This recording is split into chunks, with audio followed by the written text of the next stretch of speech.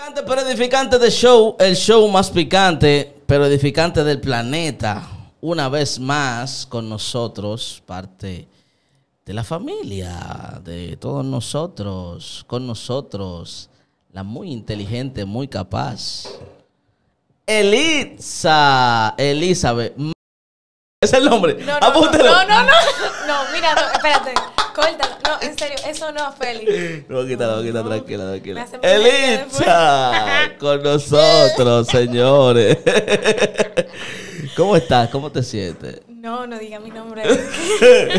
¿Por qué no te gusta tu nombre, Elisa? Porque hay que mantener un, no es que no me gusta, sí me gusta, pero hay que mantener un, un misterio. No, pero los misterios no son así. Según el príncipe, eh, perdón, según Baltasar Gracián, lo- él no es así el misterio que hay que Bueno, pero mantener. eh, ese es mi misterio, que Eh, tu nombre, que sepan tu nombre completo. ¿Cómo estás, Elisa? ¿Cómo te sientes? Estoy muy bien. Qué bueno, qué bueno. Eh, eh, noto algo diferente en ti. A la última vez que viniste. Ah, sí, qué cosa. ¿Puedo ver tus manos, por favor?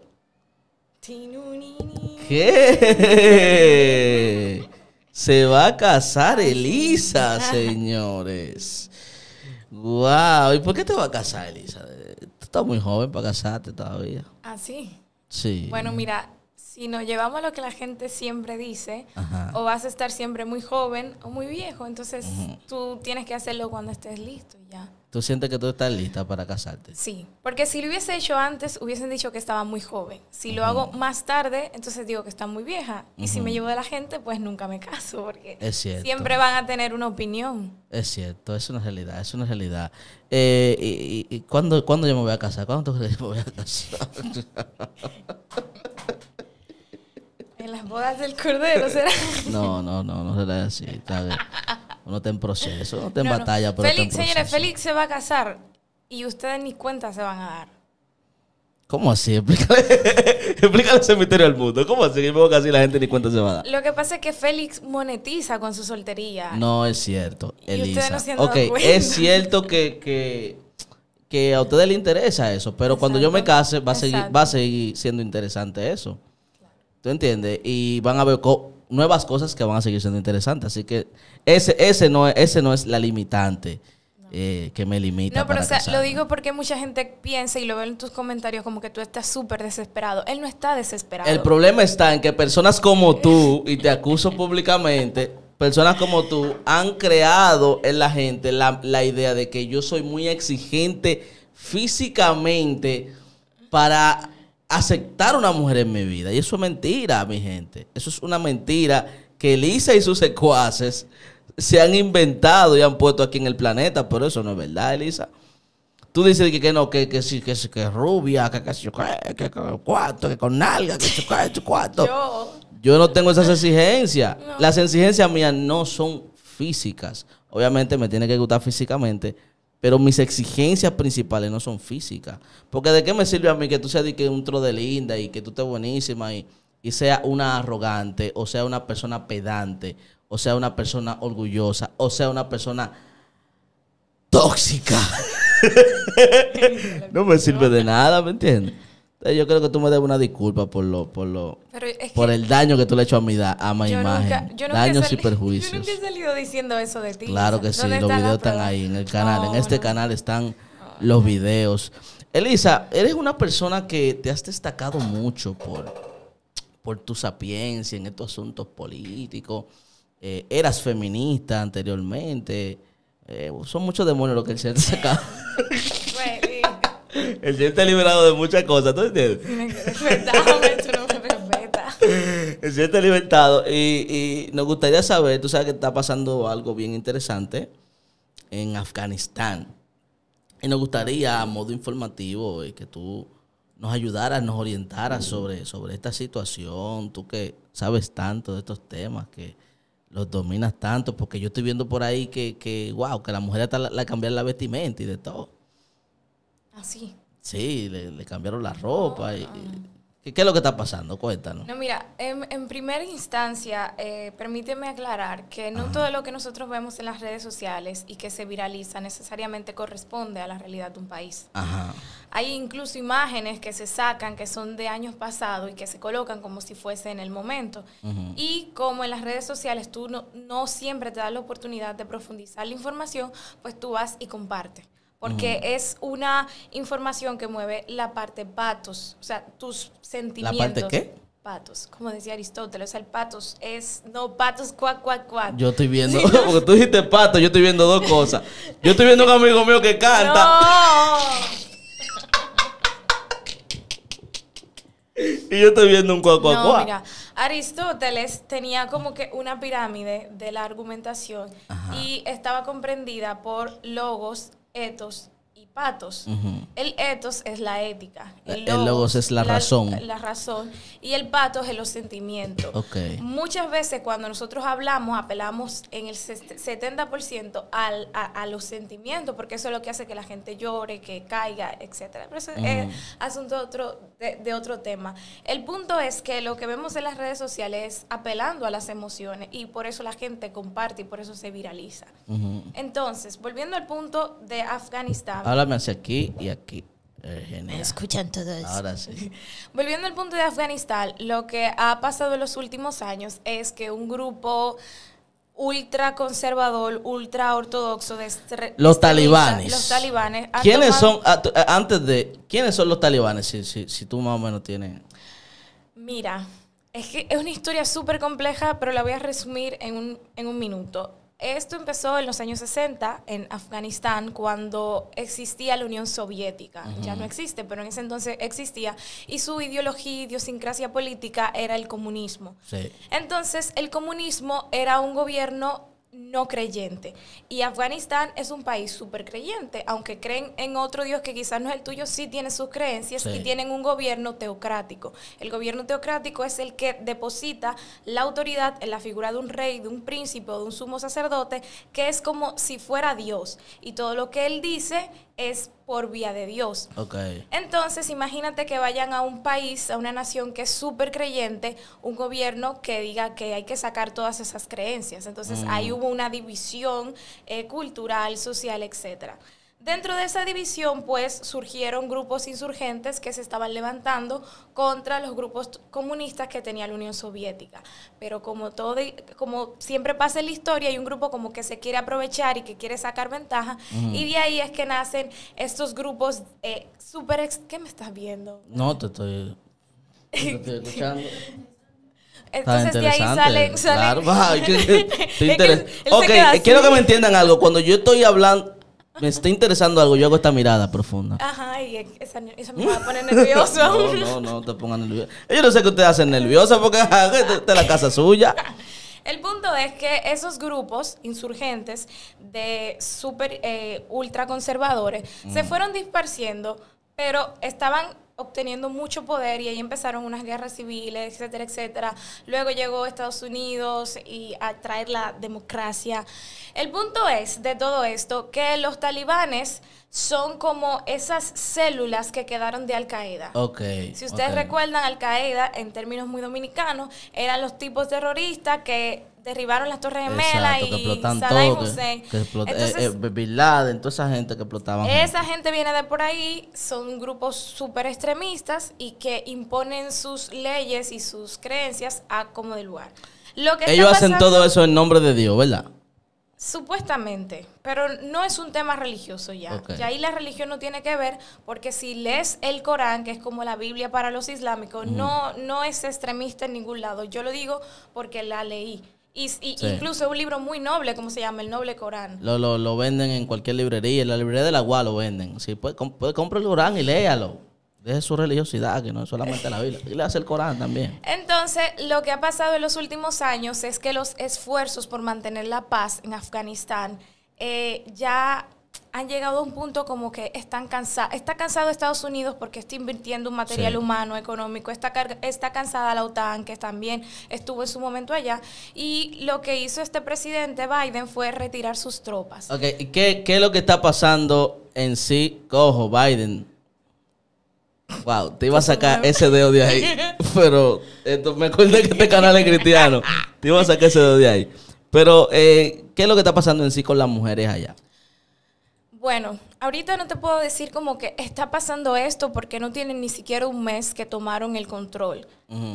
Pero sí se estima o se proyecta que como son los talibanes que han tomado el control de la capital, haya muchas reprensiones en contra de la mujer. La mujer en Afganistán podía ser política, podía ser modelo, incluso en las vallas publicitarias salían las mujeres con su burka normal porque es parte de su religión, pero tenían ciertos derechos, tenían acceso a la educación, a buena salud. Pero a la llegada de los talibanes vemos que lo primero que ellos empezaron a hacer fue a borrar la imagen de la mujer de, los, de las vallas publicitarias y demás.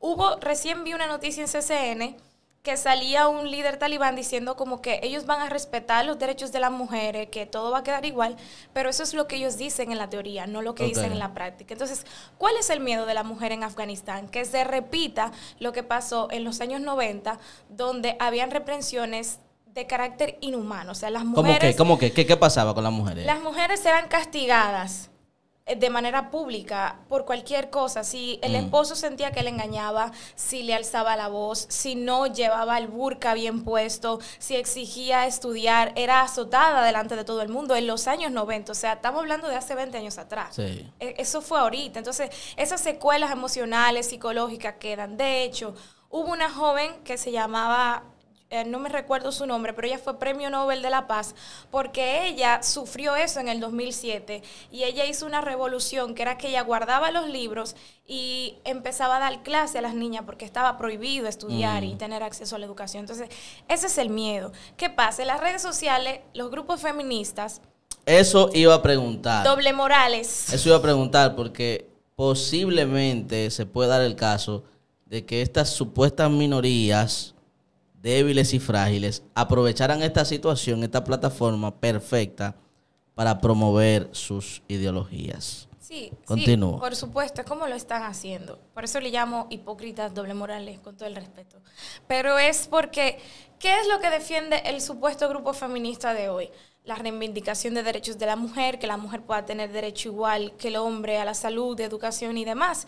Entonces, cuando tú ves el panorama actual de Afganistán, tú no ves a ninguna de esas que cuando fui a estudiar argumentación en Chile estaban afuera de la universidad vociferando, saquen sus rosarios de mi Entonces, Estamos aquí en Afganistán. Tú no ves a ninguna de esas que estaban vociferando ahí allá en Afganistán, eh, eh, eh, haciéndole una mano amiga, ayuda humanitaria para esas mujeres. Al contrario, están tomando esto para seguir vendiendo sus ideales ideológicos. ¿Y qué, es lo que hecho, lo, qué es lo que ellas han hecho viral? El asunto del burka o para que puedan entender el paño, la manta la vestimenta que utiliza.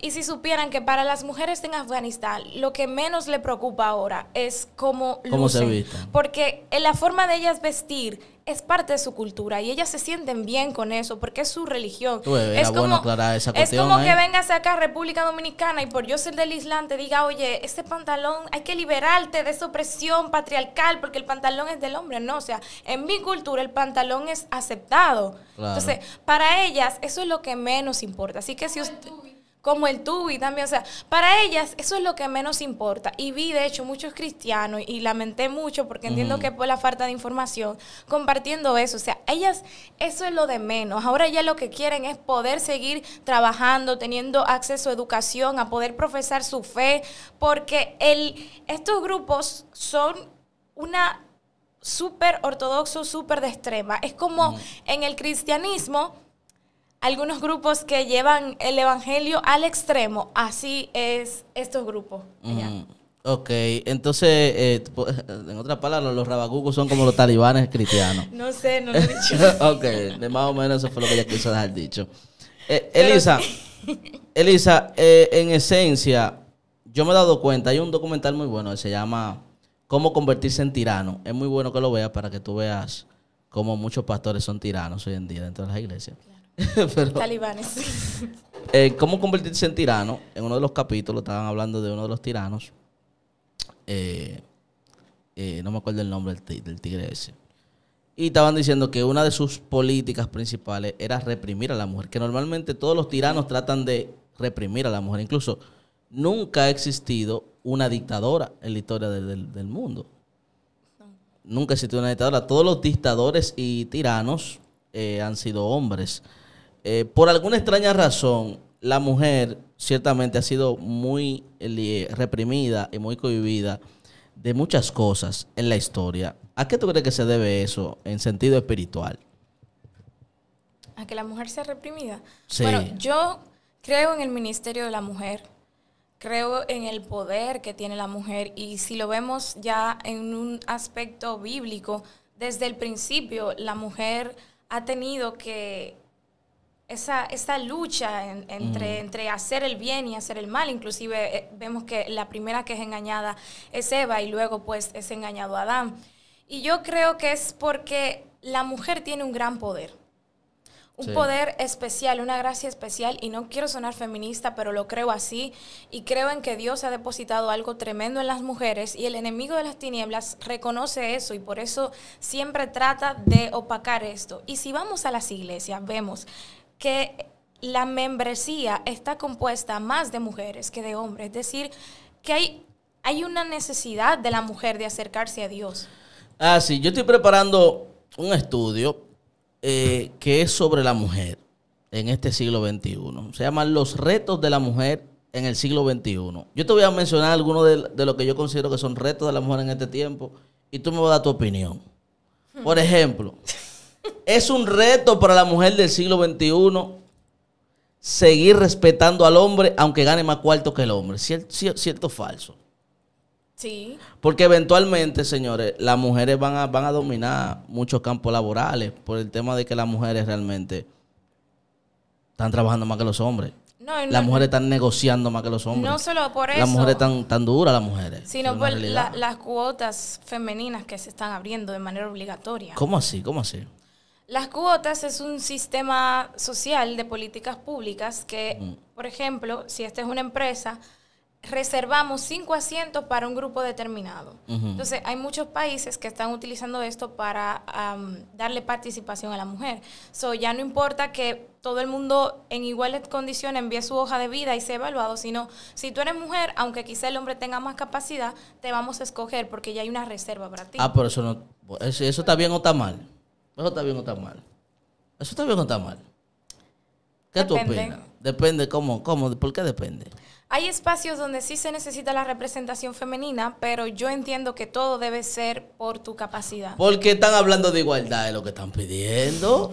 Entonces eso tampoco es igualdad. Yo sí creo, y en lo personal, en lo personal, como hombre que trabaja proyectos y diferentes cosas, a mí me gusta trabajar con las mujeres. Son más responsables, son más eficientes. O sea, y es una batalla en el ministerio uno trabaja con mujeres, porque inmediatamente suponen que si está cerca de ti es porque hay algún tipo de actividad pecaminosa. ¿Me entiendes? Pero la verdad, mi gente, piensen lo que ustedes quieran, digan lo que ustedes quieran. Las mujeres son la vaina. O sea, las mujeres son duras. Eh, bueno, tú que, que trabajas esa parte conmigo, sabes que de los diferentes fotógrafos que hemos eh, contratado, las mujeres son las mejores. Las más duras son las mujeres. ¿Me entiendes? Y en diferentes cosas, las mujeres son más eficientes que los hombres. Últimamente los hombres estamos perdiendo mucho tiempo en la vida. No es una competencia, no es un asunto de competencia, es un asunto como de, de que tenemos que entender, familia, de que estamos viviendo un tiempo donde el mundo quiere cambiar los roles que, prácticamente Dios estableció, ¿me entiendes? Porque en eso se basan los retos de la mujer del siglo XXI.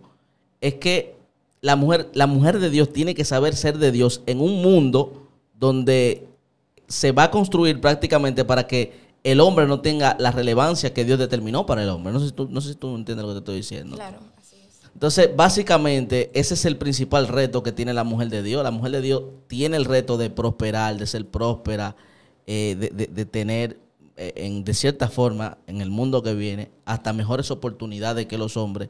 Y aún así seguir dándole al hombre el lugar que, que debe de tener en su vida. ¿Me entiendes? Aunque sabemos que tú eres manipuladora y tú manipulas a los hombres. es mentira, es broma. Es broma, Ella es muy sweet, ella es muy sweet, ella es muy sweet. Elisa, eh, ya para, para terminar, ¿qué tú crees que, eh, cuál tú crees que debe de ser el comportamiento de la mujer de Dios en un tiempo como el que estamos viviendo, con, la, con todos estos diferentes movimientos y todo esto que estamos viendo en este planeta?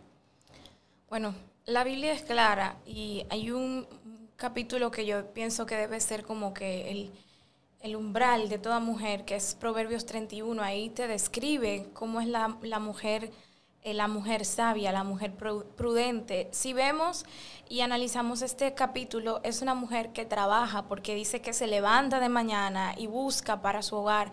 Entonces, creo que a pesar de todo el ruido que haya alrededor de nosotras como mujeres, y te lo digo a ti si eres mujer que me estás escuchando, a pesar de toda la publicidad engañosa, el marketing que nos vive diciendo que, que nosotras tenemos que ser la más, esto no se trata, como decía Félix, de competencia.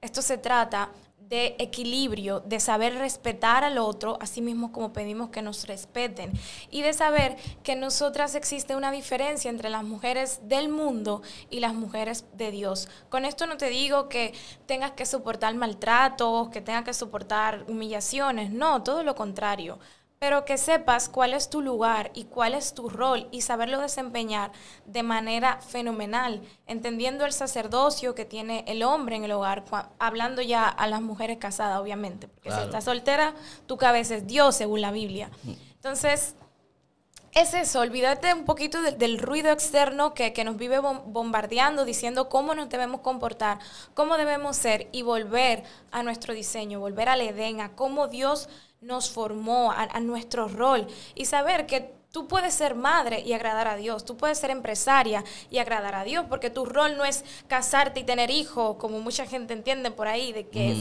se, se, se, salvarán casándose y teniendo hijos. No, o sea, hay mujeres que quizás su propósito en la vida no es necesariamente estar en una casa. O sea, está mal, está mal interpretado ese texto bíblico. Sí, muchísimo. ¿Es verdad? claro. ¿Y cómo entonces? ¿Cómo es la vuelta entonces? Es que la salvación no es por lo que tú haces. Exacto.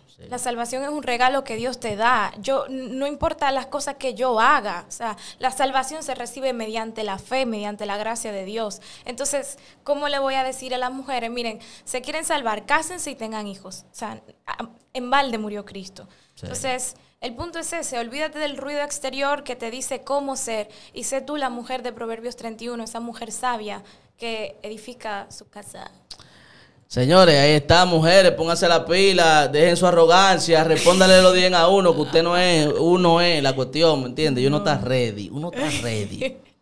Uno está ready ella. Estoy picante, pero edificante de show. Suscríbase a este canal, manténgase activo a todo este contenido. Dios le bendiga, Dios le guarde. Bendiciones.